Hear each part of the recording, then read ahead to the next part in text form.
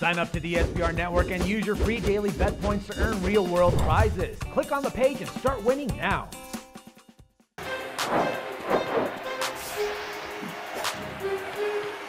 The number one overall seed, San Antonio Spurs, will take on the number eight, Dallas Mavericks, in the opening round of the 2014 Western Conference playoffs. This is Across the Board with Jeff Grant here at SBRForum.com. Sundays, opening tips scheduled for 1 o'clock Eastern Time on TNT from the AT&T Center.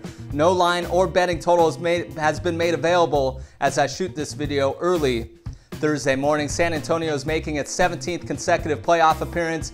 Of course, lost to the Miami Heat in the 2013 NBA Finals. The Spurs 32 9 straight up at home and won all 16 games in the month of March. Really coasted in the final month of the regular season, given the fact that it had a real clear path to the number one overall seed.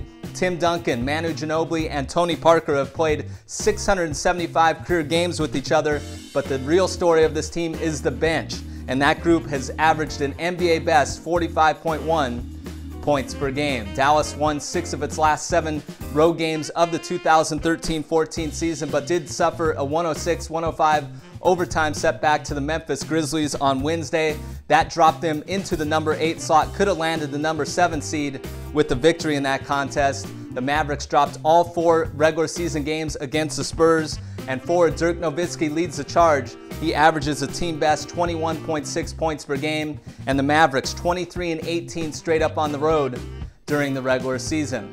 From a sports betting trend perspective, the road team has covered the number in six of the last seven meetings in the series.